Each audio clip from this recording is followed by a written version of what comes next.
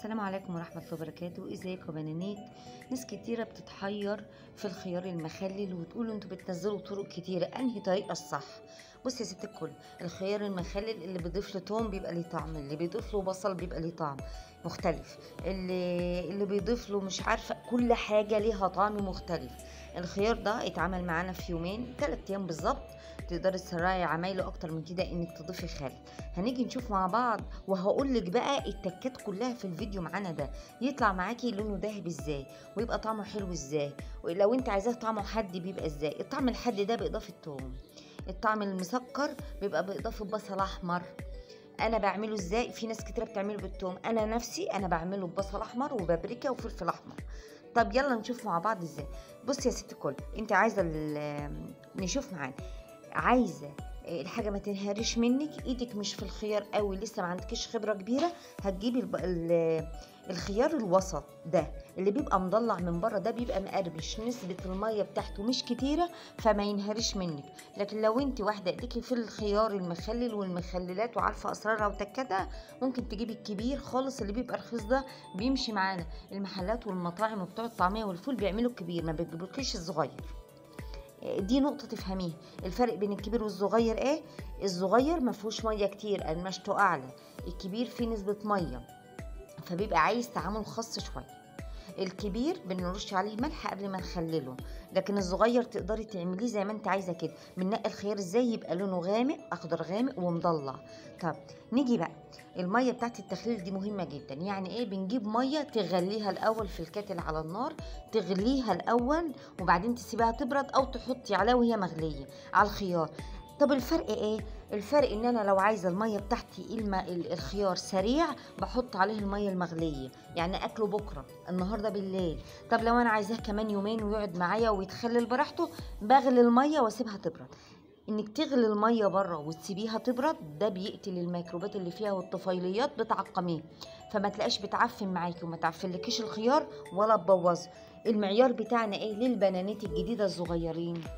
مج المية المغلية أو مج المية بعد ما بردتيها بياخد معلقة ملح مش مليانة ملح معلقة أكل ملح ومعلقة خل. حلو الكلام ده كله؟ أهو. وبعد ما نيجي نخلل بنرش رشة سكر فوق البرطمان كله. وتبقي غاسله البرطمان بتاعك بمية سخنة شوية وننشفاه عشان إيه؟ الحاجات اللي بتخلي الحاجة تعمل تبوظ معاكي الخل.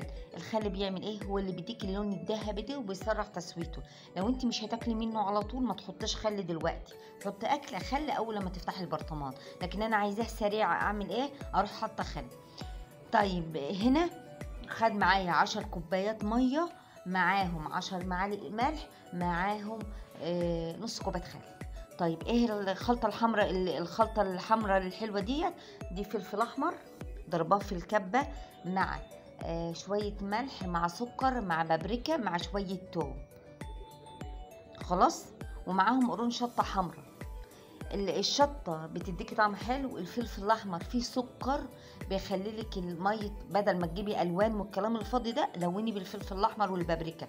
فيهم نسبة سكر عالية بتخلي لك الحاجة مسكرة وتزود لك القرمشة وتدي لك نفس جميل قوي قوي قوي أنا عن نفسي بحط فلفل إيه، بصل أحمر كمان. وديت معلقة سكر مليان. بنقلب السكر مهم جدا. آه، أنا بحب البصل الأحمر جربيه. بيزود لك القرمشة وبيدي لك طعم حلو قوي قوي قوي قوي عن التوم كمان. في ناس بتحب التوم. هنرص بقى هنحط المفروض ترصيه واقف. طب لو البرطمان معاكي كبير وإيدك مش جايبة فيه هتحطيه كده وهوريكي هتفضي منه المية إزاي. تفضي قصدي الهواء. لا فتحناه من الجنب ولا حاجة. طب اللي بيفتحه من الجنب وحش؟ لا مش وحش.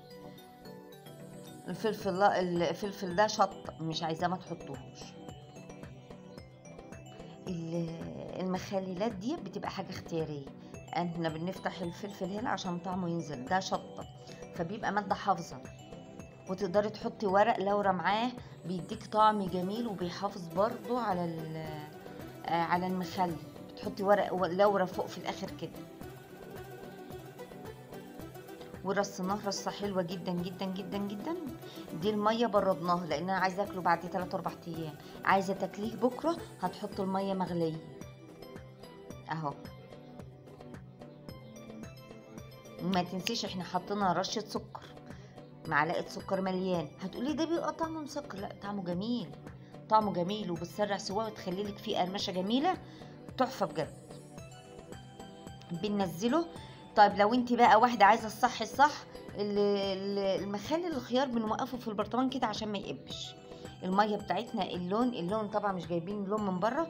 اللون ده من الفلفل الشطة ومن البابريكا ومن الفلفل الأحمر. عمرك ما تلوني أي حاجة بالكلام الفاضي ده. بنعمل كده بقى إيه؟ عشان لو في ملح واقف سكر واقف أي حاجة وبنخلي كل حاجة تتغلغل في كل حاجة. كله ياخد طعم بعضه كده. أهو. طب نيجي نشوف البرشامة بقى إن إحنا طبعا الخيار والحاجات دي كلها بصي هتقبي منك فوق. نعمل إيه؟ عندك طبق صيني صغير طبق ميلامين صغير بيدخل في الطبق ده هتدخليه في الطبق ده من فوق. طب أنا ما عنديش ما عنديش حاجة هتخش. هجيب كيس بلاستيك stretch foil ال stretch اللي إحنا بنعمل ده هدخله فوق المية. أو إيه كمان؟ أو تجيبي كيس من أكياس اللبن هتمليه مية وتقفليه وتدخليه فوق كده. فوق الحاجة دي. راجع الفيديوهات القديمة هتلاقيني عاملة لك فيديو عن الموضوع ده عن التخليل إنك تملي كيس اللبن مية وتحطوه في المخلل بينزل المخلل. سيب ده. أهو. وبتتكي بحيث إن الكيس يبقى لازق في الخضار. ونقفل عليه كويس جدا كده طلعنا الهواء بتاعه.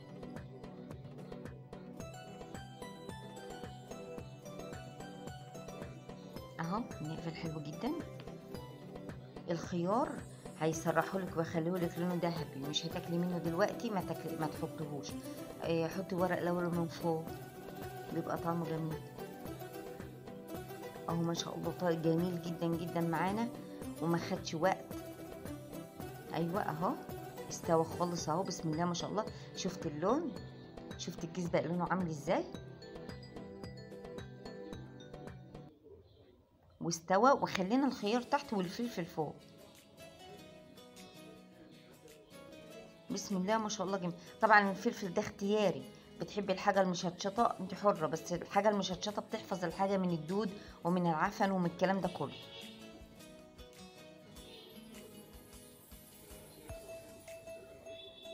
إيه اللي بيخلي أي خيار معانا أو أي حاجة تتخلل؟ تبوظ المعيار اللي مش مظبوط المية مش مملحة المية ما غليتهاش كويس آه، إن ال- الخضار بتاعك فيه. معظم الخضارات إحنا بنرشها مية بنرش عليها ملح الأول ونسيبها نصفي ملحها ساعة أو ساعتين. ده لو هتسيبيه.